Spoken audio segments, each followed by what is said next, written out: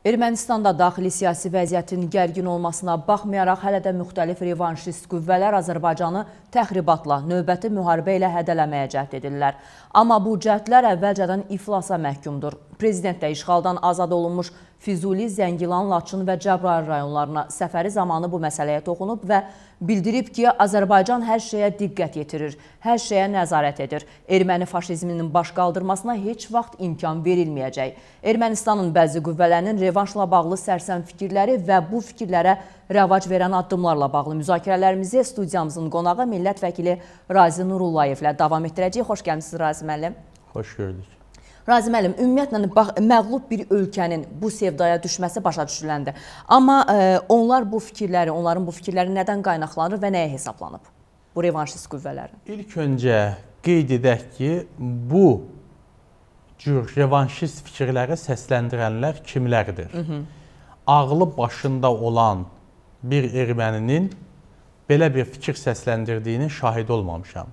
Bu kimlərdir? Populistlər, həqiqətən içində nifrət gəzdirənlər, Türkiyə, Azərbaycanlıya qarşı qəlbində ömrü boyu nifrət gəzdirən şəxslərdir. Amma siyasəti bilən, reallığı bilən, geopolitik vəziyyəti bilən və müharibədən çıxmış bir kəsin bunu səsləndirməsi doğrudan da absurddur və səfehlik olardı. Hətta Sərkisyan və Köçəryan müsahibələrində qeyd edirlər ki, biz hakimiyyətdə olsa idik, müharibənin başlamasına icazə verməzdik. Çünki onlar da bilir ki, onların da hakimiyyətdə olduğu zamanlarda onlar Azərbaycanla bacara bilməzdilər. Azərbaycanın ordusu kifayət qədər güclənmişdi. Azərbaycanda vətənpərvərlik hissləri çox güclü idi və onlar da gözəl bilirdi ki, Azərbaycan torpaqların itirilməsi ilə barışmayacaq və bu gün də müsahibələrində qeyd edirlər ki, biz müharibənin başlanmasını istəmirdik. Və bildiyiniz kimi indi 1-3 gün bundan öncə Serj Sərkisyanın və Serj Sərkisyan da Azərbaycan uşaqlarının qatilidir, Ermənistanın sabiq prezidentidir, amma həm də onun əli Azərbaycanlıların qanına batmış bir canidir və bu cani qeyd edir ki, 2016-cı ildə də başlayan danışıqlarda, 2016-cı ilin aprel döyüşlərindən sonra başlanan danışıqlarda artıq o 7 rayonun Azərbaycana qaytarılmasına razılıq vermişdi. Hı -hı. Ona görə razılıq vermişdi ki, çünki bilirdi ki, Rusiya da onların arxasından çəkilə bilər. Artıq həmin zaman Rusiyanın Xarici İşlər naziri Lavrov da məhz predmetli danışıqlara başlamasını istəyirdi, bunun üçün ermənilərə təzyiq göstərirdi. Və belə bir e, əlavə olaraq qeyd edim ki, bu müharibədən çıxmış erməni generalları var. Müharibədən çıxmış erməni siyasətçiləri var, onların iqtidarı var. Onlar isə revanşist fikirlər səsləndirmir. Çünki onlar çox gözəl bilir ki, artıq Ermənistanın ordusu yoxdur.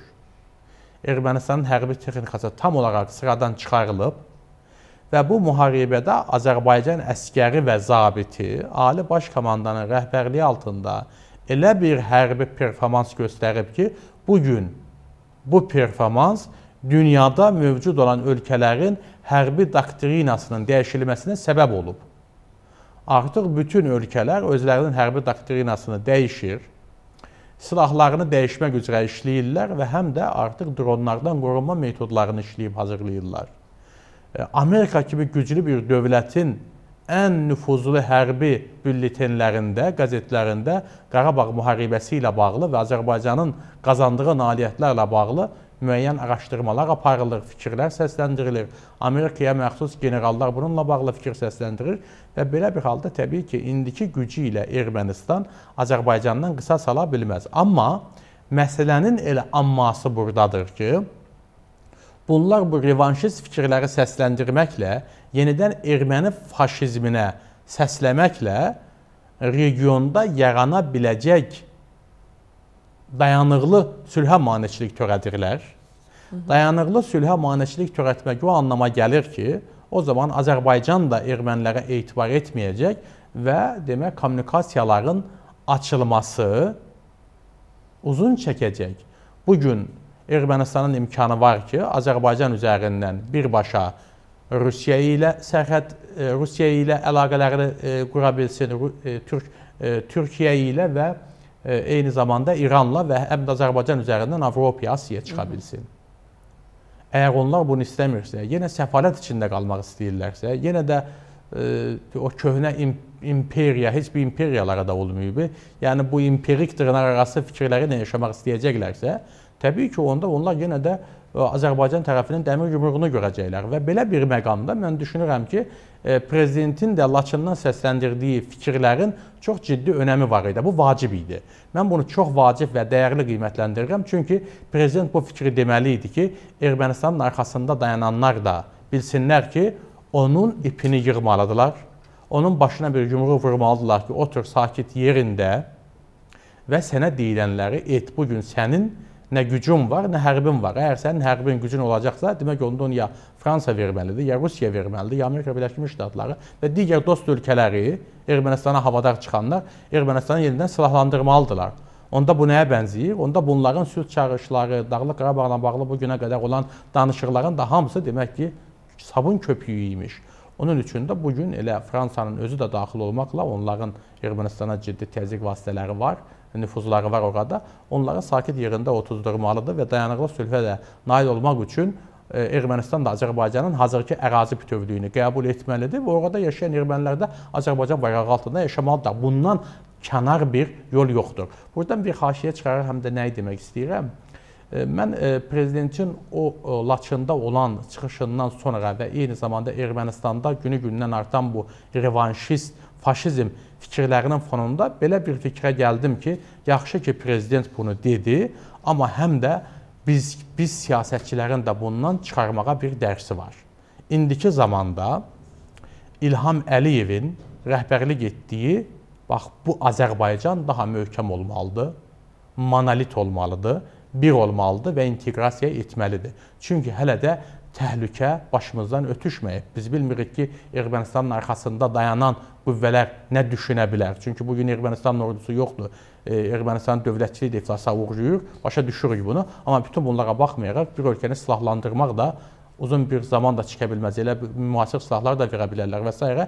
Azərbaycandan deyək ki, Azərbaycandan o revanşist hisslərə başqa ölkələr də qoşula bilər. Onun üçün də bu gün Azərbaycan daha monolit olmalıdır. Siyasətçilər daha bir olmalıdır və belə bir məqamda mən düşünürəm ki, İlham Əliyev özü güclü olmalıdır və onun daha güclü qalması üçün, bax yaxın 4-5 ildə onun daha yaxşı güclü qalması üçün də hər bir kəs əlindən etməlidir. Çünki bu gün bu danışıqları aparan o olub, bu gün o dəmir yumruğunu qaldırdı və onun dəmir yumruğu ətrafında xalq birləşmişdi və bundan sonrakı proseslərdə e, demək ki, bizim ölkəmizdə də ciddi sabitlik lazımdır. Bizim ölkəmizdə də ciddi inteqrasiya lazımdır. Siyasi birlik lazımdır və bu gün doğrudan da hamı İlham Əliyevin ətrafında sıx birləşməlidir. Ta ki o zamana qədər ki, məsələn biz siyasətçiyik, təbii ki, mənim iddiam var, siyasi partiya sədriyəm, mən mübarizə aparmalıyam ki, hakimiyyətə gəlim.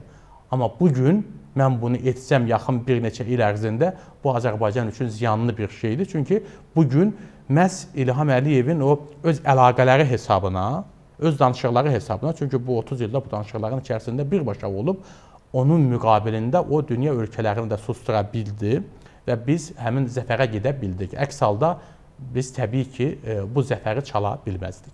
E, Razi müəllim, siz də qeyd elədiniz, deməli, Ermənistanda daxili siyasi, iqtisadi vəziyyət onsuz da gərgindir. E, belə deyək, ordudan danışmağa heç dəyməz. Azərbaycan Silahlı Qüvvələri ordunu darmadağın eləyib, silahlı texnikanı darmadağın eləyib. Bax, belə bir şəraitdə onlar özlərində hansı potensialı görərək bu iddiaya düşüblər? Hal-hazırda demək bu fikri səsləndirənlər mən sizə deyim ki, e, Ermənistanın müxalif qüvvələridir. Hı -hı. Yəni hazırki Ermənistanın iqtidarı belə fikirlər səsləndirmir.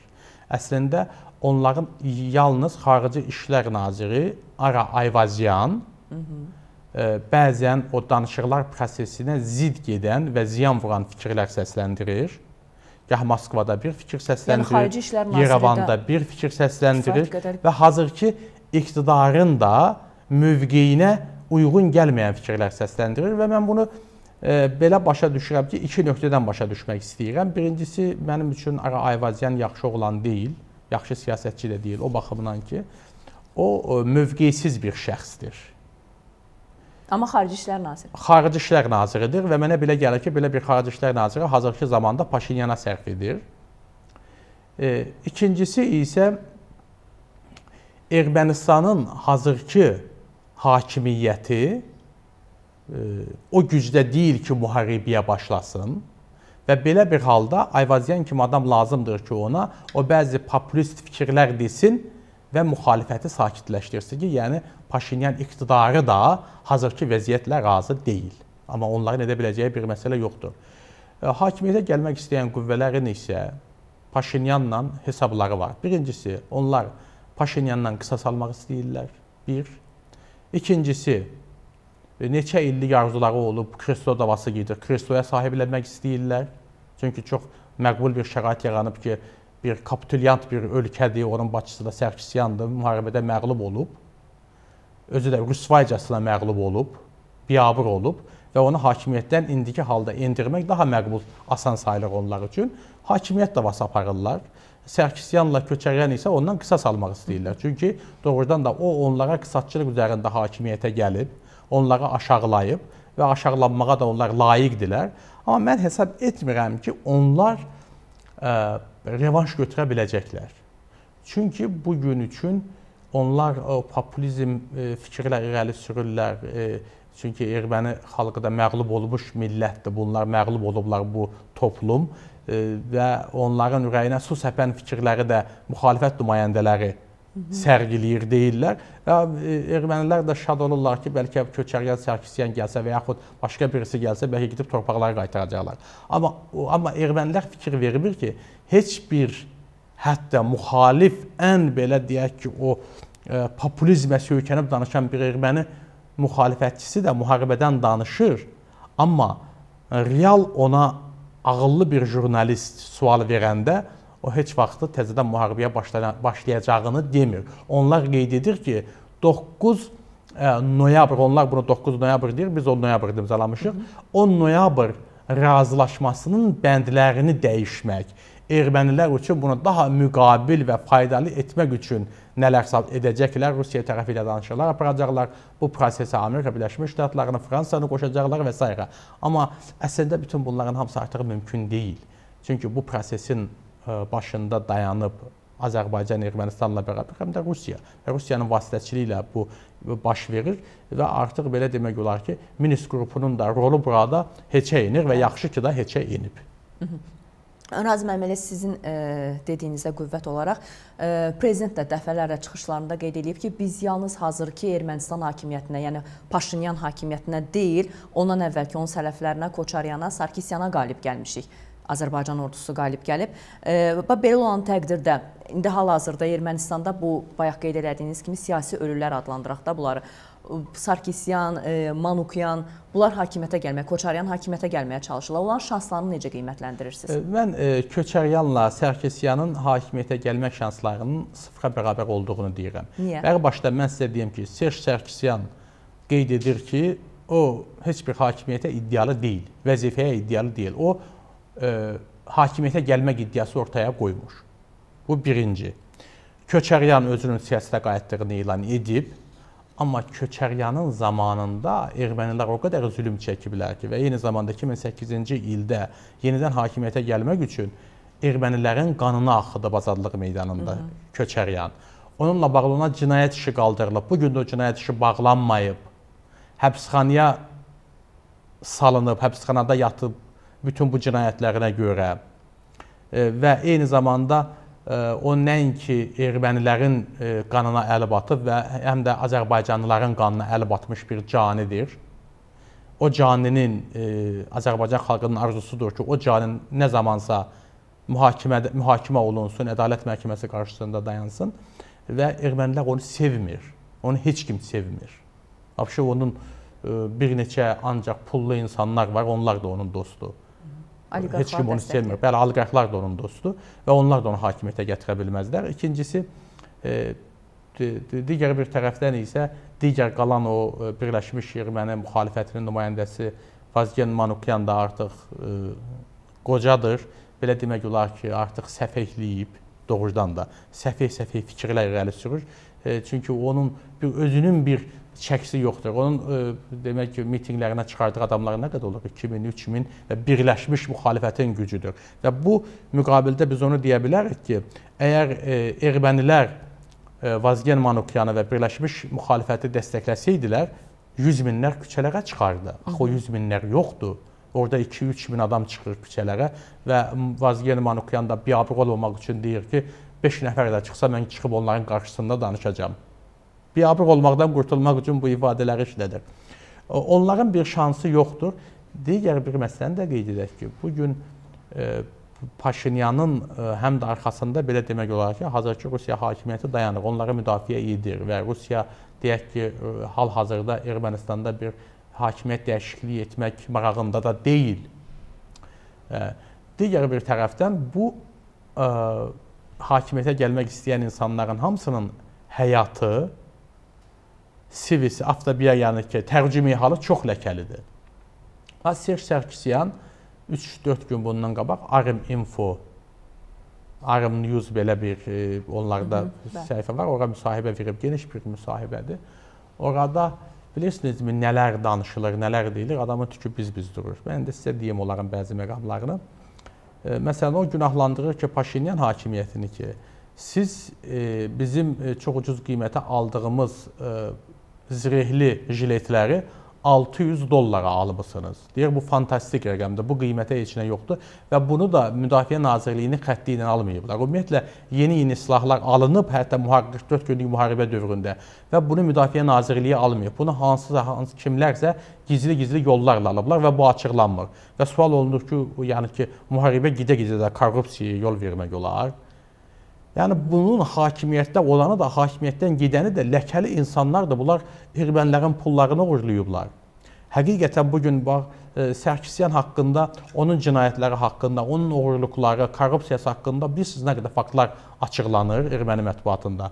Köçəryanın isə cinayətlərinin say hesabı yoxdur. Onun üçün onun bəlkə də Ermənistanda 0,1% də dəstəkçisi yoxdur. Çünki o milyardlarla uğurlayıb və milyardlarını da aparıb Rusiyada müxtəlif şirkətlərə yatırıb və həmin şirkətlərdə indi özü bir, birində direktorlar şurasının sədridir. Məncə e, e, sistema adlı bir e, demək e, bir təşkilat var, e, bir, bir biznes strukturu var. Orada rəhbər şəxsləri rəhbər şəxsdir. E, belə bir məqamda təbii ki, e, erməniləri, erməni seçiciləri də e, vahid bir qərara gələ bilməz ki, bunların içərisində doğrucu kimdir? E, bu mən sizə deyim, siz hansı vəziyyətə mən sizə bunu oxşadım. Bu kırık, qışqırıq bir filmi var idi. Hollywood ulduzu Cameron Diaz da deyəsən orada baş rolda oynayırdı. Orada dostlar da hamısı yığılışıblar. Kimsə hər gün dostlardan biri öldürülür xaincəsinə qəddarcasına və hər kəs də bir-birindən şübhələnir ki, bunu kim öldürdü? Tapılmır. Və görə kimsə öldürüldü, kimisə məhv elədilər, kimisə uğurlayıb apardılar. Və bu gün erməni siyasətçilərin hamısı bir-birinə bu cür yanaşır. Doğrudan da belədilər və orada kimin doğru, kimin düz olduğunu nə biz bilə bilərik. Bizim üçün onların biri də düz deyil. Çünki revanşist ə, qisas hissi ilə yaşayan, faşizm ideyalarını dəstəkləyən bir millətin nümayəndəsi doğru dürüst ola bilməz. Və təbii ki, ermənilər də bax belə çaşbaş qalıblar. Onun üçün də onları hələ çox təlatümlər gözləyir və belə bir təlatümdə onlar revanşist hissə təzədən qalxmaq istəsələr, dəmir yumruq artıq onlara mənə belə gəlir ki, heç dəmir yumruq lazım deyil. Dəmir yumruğun biraz o yumşaq bir elə plastikdən də düzəldib başlarına vursan çökəcəklər. Onun üçün də Azərbaycanın dəmir yumruğu yerindədir. E, şükür Allaha olsun ki, prezidentin iradəsi yerindədir, qətiyyəti yerindədir dəstəyi yerindədir və onun da dünya ölkələri ilə və regionumuzda maraqlı olan ölkələrin rəhbərləri ilə isti, gözəl münasibətləri var. Bu məni sevindirir, çünki hələ təhlükələr ötüşməyib və biz hal-hazırda prezidentin güclü olmasında, çox çox çox güclü olmasında maraqlı olmalıyıq. Təşəkkür edirəm Razim müəllim. Çox sağ olun. Çox sağ olun. Siz də sağ olun. Qonağımız millət vəkili Raziyə Nurullayev idi. Biz Ermənistanda bəzi revanşist qüvvələrin Azərbaycanı təxribatla növbəti müharibə ilə hədələmə cəhdlərindən və bu cəhdlərə verilən cavablardan danışırdıq. Görüşənədək.